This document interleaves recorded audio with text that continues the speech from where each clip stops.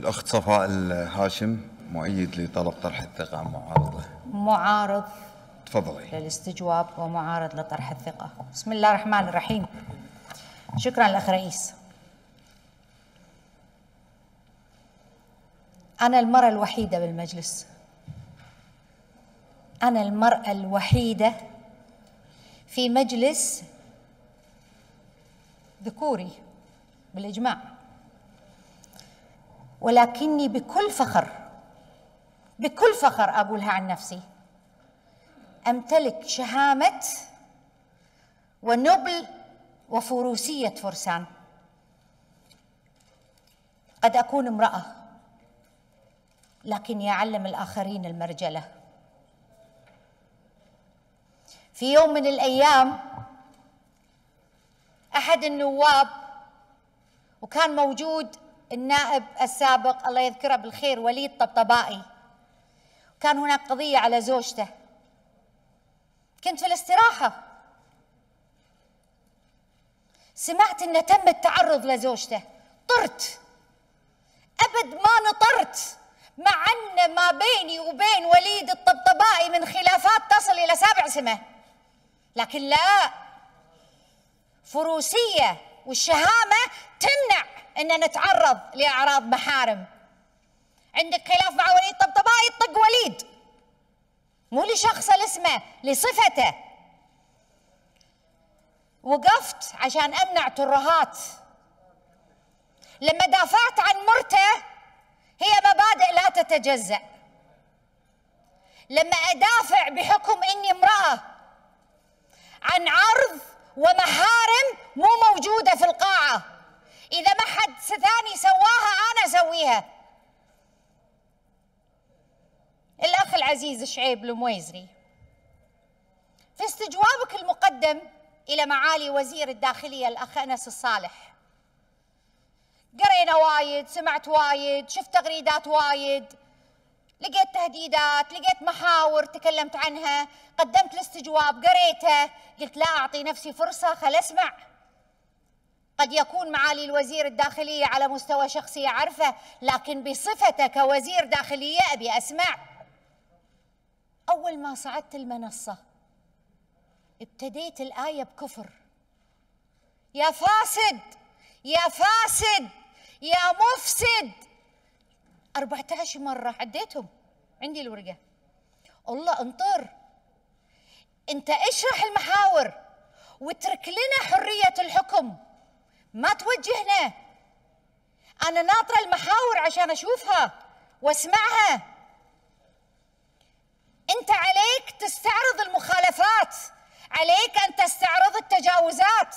عليك أن تستعرض شنو الأغلاط الجسيمة اللي أودت بأمن وأمان البلد لما استلم واحد مثل الاخ أنس الصالح وزارة الداخليه انت عليك انك تستعرض هذه المخالفات وأنا اقرر ان كان مفسد أو لا. عشان امنح الثقة لاستجوابك أو ما امنحها واطرح الثقة في وزير أو ما اطرحها. هي مواقيت دستورية يا اخوان. اقسمت كلكم عليها. جزء رئيسي من الدستور العظيم. الحفاظ على كرامات الناس. ما اطلق القاب. لسنوات طويلة لما قدمت استجواب لرئيس وزراء سابق لوزير الداخلية سابق لوزير عدل سابق لوزير التخطيط سابقة. الكل اتهمني بالشخصانية. ما تهمني شخوصهم. ما يعنوني أصلا. تعنيني صفتهم. لما تكلمت لما الفارس الأخ رياض العدساني قدم استجواب الشيطان وزير المالية الاستجواب الأول. وتكلمت مؤيد للاستجواب. أقول لك شيء؟ يعطني المعلومة قبلها بيوم عن زوجة الشيطان وعن أختها. تعمل في ديوان المحاسبة. وتراقب وزارة مالية وهو وزير مالية يعني تضارب مصالح جسيم. وختها في جهاز مراقبين. قلت لا عيب.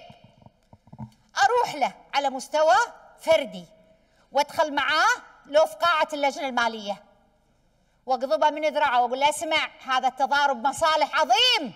يا تقدم استقالتك يا زوجتك تقدم استقالتها. ما أطري موضوع زوجته وحريم في القاعة. ما أطري. خلافي على أدائه. أنا مؤمنة جدا الأخ الرئيس إخوان الكرام أن نواب الأمة هم النخبة. نواب الأمة هم الإليت. هم من ينشر القيم. هم من يساهم في تعزيز القيم. ما يساهمون في هدر القيم. أخي شعيب سمعت فاسد مفسد 14 مرة. اليوم شرذمة حفنة فاسدين. دولة عميقة ولو إني ماني عارفة إيش معنات دولة عميقة. جينا على المحاور. قلت بسمع. قلت مو من صجة حليمة بولند ليش تطلع بالليل؟ عبد الوهاب العيسى ليش يطلع بالليل؟ لا لا لا خلت أتأكد بعد. دخلنا في محور أقوى. أول فيديو بس توريني يا لو سمحت التكرار.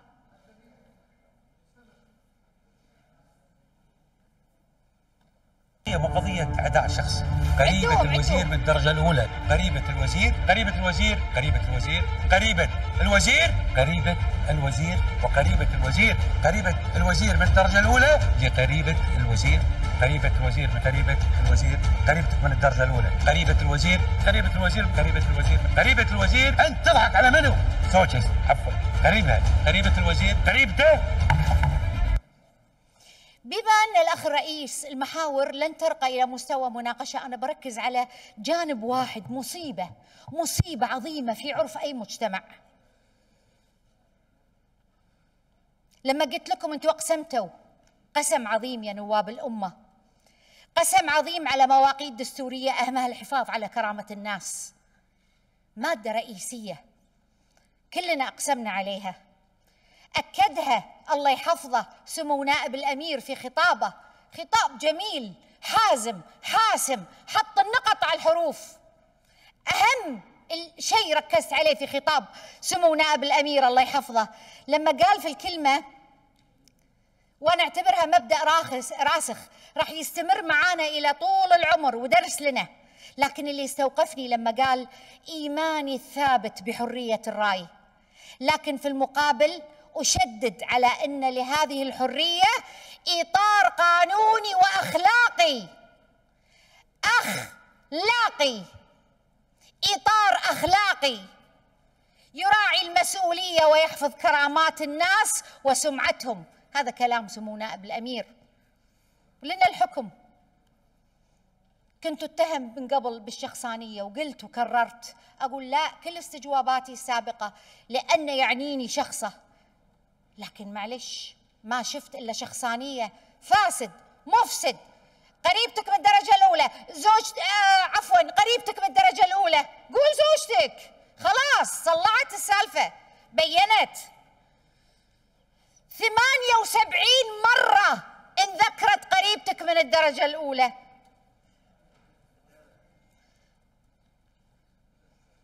هناك مثل قديم يقول المعمي بسوء النية لا يستحق جهد التبرير. أنا بسأل سؤال افتراضي.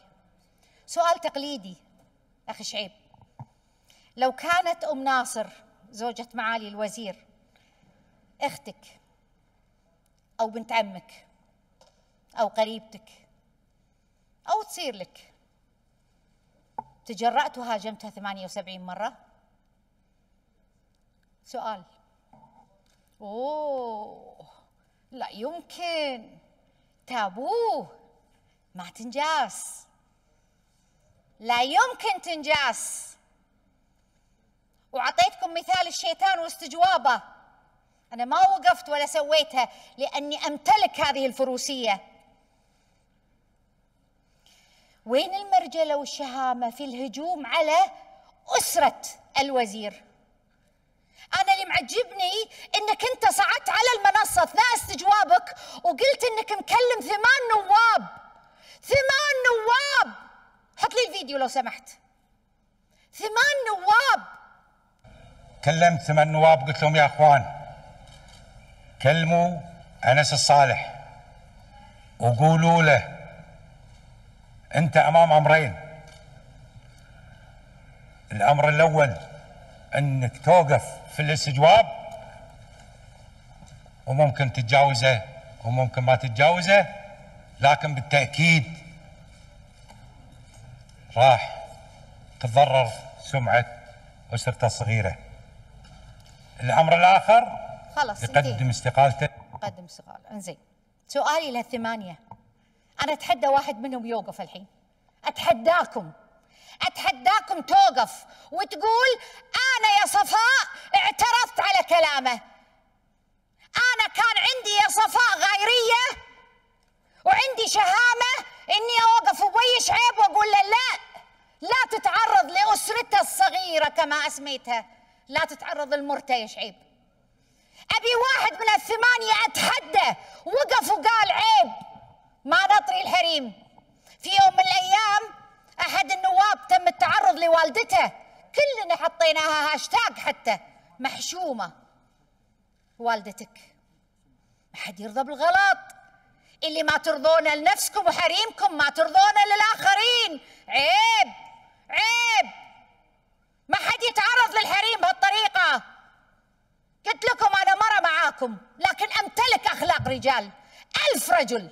وعندي من الشهامة إني أواجه وأضرب.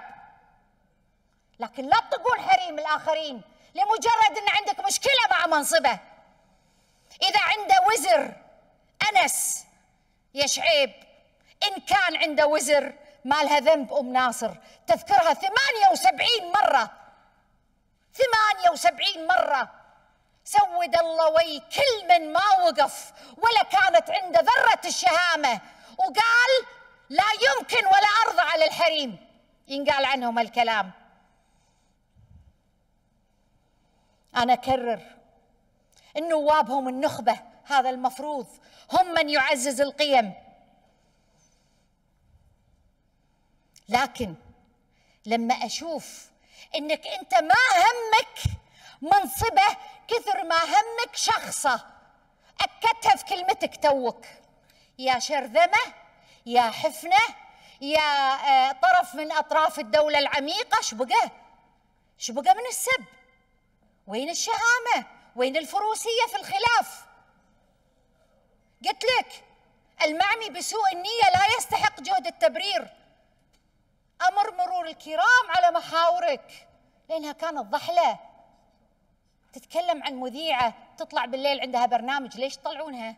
تتكلم عن شخوص. ما أرد عليها هذه. حاولت. تقلل من شأن معالي وزير الداخلية. غصب عن اللي ما يرضى أنس الصالح. وزير من الشعب وأثبت جدارة.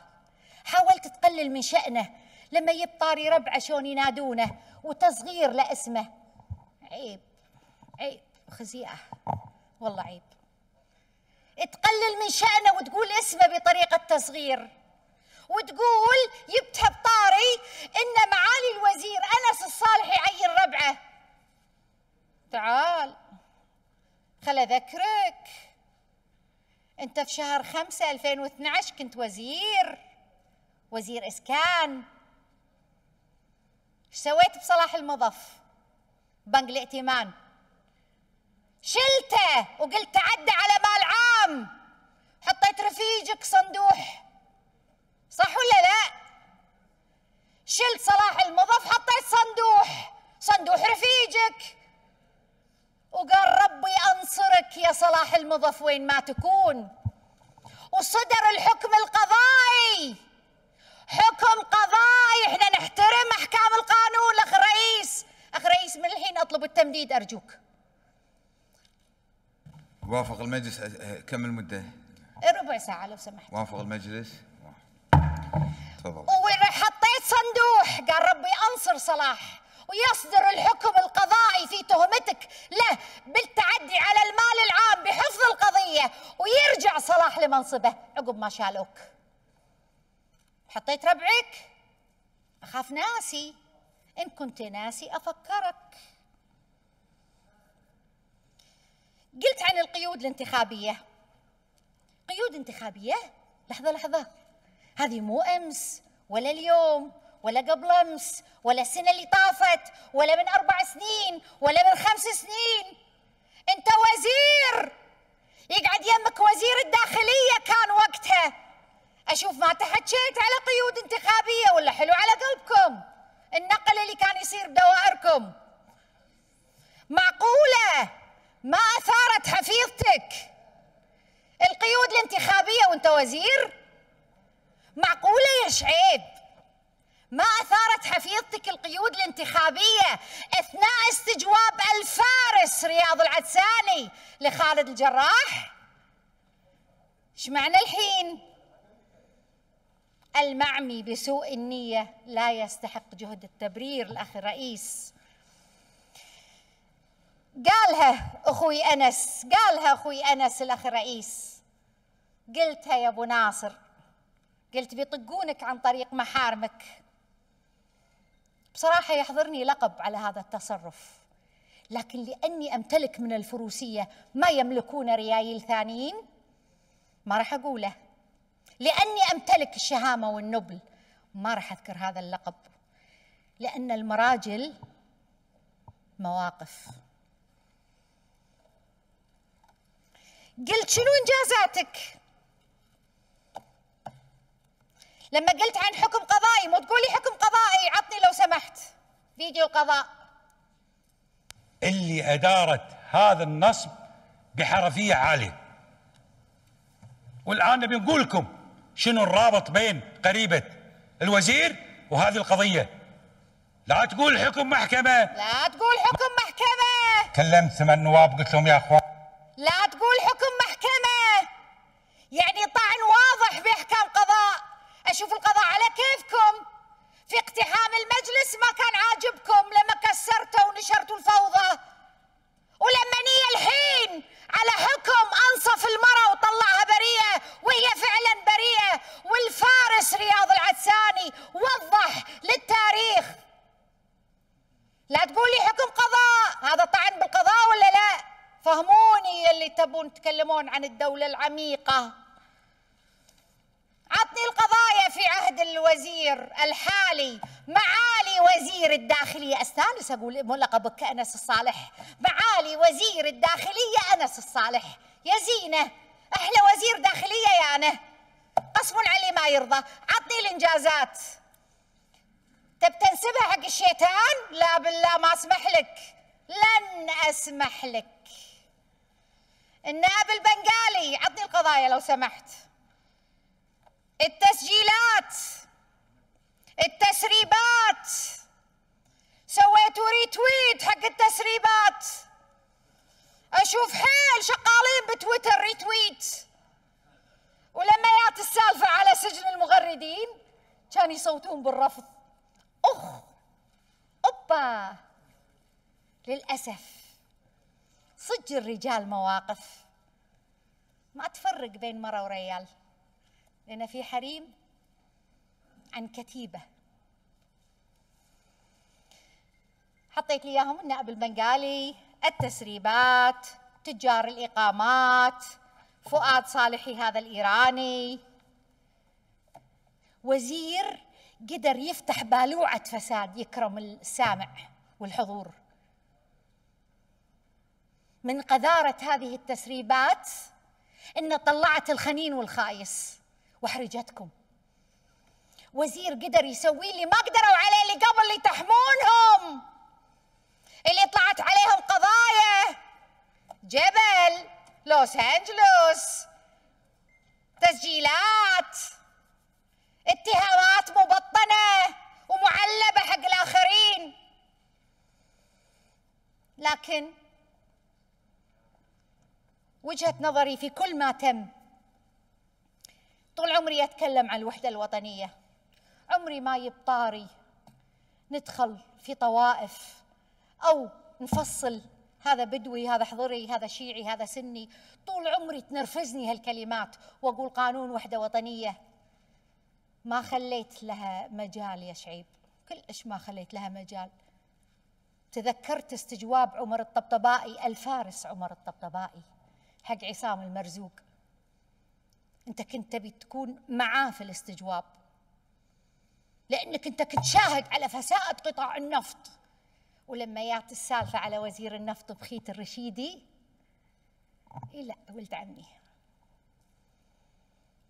ما أحب أحكي كذي. سنين الأخ الرئيس لما كنت أوقف هني كنت أوجه الكلمة للرئاسة وأقول أنا جيت من أسرة عادية. لا أملك قبيلة تسندني ولا أملك طائفة تدعمني ولا عندي اسم تجاري رنان عود يسندني ولا عندي قطب سياسي ولا أني قطب سياسي. لكن أمتلك الحجة وقوة الطرح. لذلك لما جيت هني وأشوف متى تصير الحماية حق أي وزير وعلى أي منصة يوقف ولو كانت أم ناصر محشومة يا أم ناصر من أهلك ما تجرأت 78 مرة تطقها وتقول نصابة. محشومة يا أم ناصر محشومة يا شيمة محشومين آل الملة كلهم الكرام محشومين يا ناصر وخواتك. وأسرتكم الصغيرة عن كل إساءة بدرت من آخرين تجاهكم. شكرا الأخ رئيس. أنا بس برد على الوزير لما قال وين هذا الإقرار؟ ما قلته من باب الشفافية أول ما توزرت. وين هذا الإقرار وكلامك؟ كتصريح. أنت ظليت صامت صمت القبور من تم توزيرك. وعايزنا نترجى قول تحكى قول انطق. كان قلت ترى زوجتي هي تشتغل في ديوان المحاسبة وهذا من باب هو- هو- هو هذا اللي أقوله. الموضوع. الشيء إيه، الثاني نعم. اللي تفضل فيه الأخ راكان بلى. إحنا لما نقول وصلاح حول نفسه هذا كان بناء على الشبهات اللي أثارها الوزير في ذاك الوقت. فمحشوم الأخ صلاح حكاه شكراً، أداء شكراً، رائع. شكرا. شكراً.